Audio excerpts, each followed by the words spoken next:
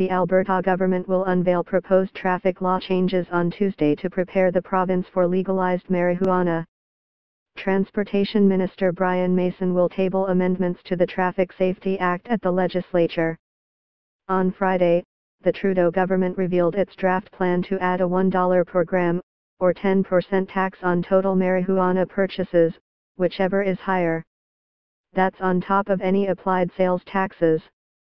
Ottawa is suggesting it split the tax 50-50ths with the provinces, but Alberta isn't buying in.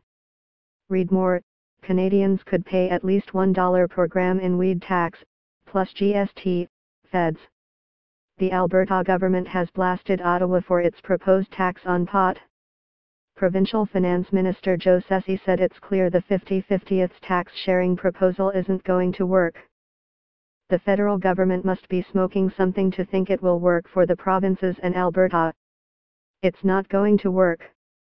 It's unacceptable Ceci said the bulk of the work and the costs associated with legalizing marijuana from policing to education rests with the provinces and municipalities, therefore those dollars need to stay in the province. Because really, they, the federal government, are not doing anything, he said. Read more, Alberta asks Ottawa, what are you smoking? The federal government plans on making marijuana legal nationwide, starting July the 1st. Adults 18 and older will be able to legally buy and cultivate small amounts of marijuana for personal use, while selling the drug to a minor will become a serious new criminal offense under the federal Liberal government's proposed new legal pot regime. The new law would allow adults 18 and over to possess up to 30 grams of dried cannabis or its equivalent in public, share up to 30 grams of dried marijuana with other adults and buy cannabis or cannabis oil from a provincially regulated retailer.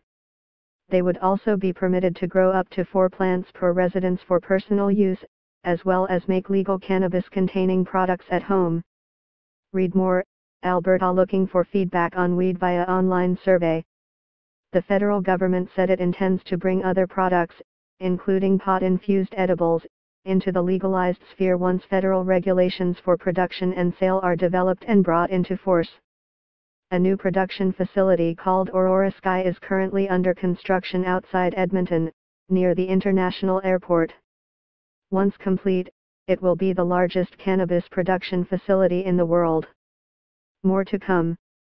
With files from Rick Baguski.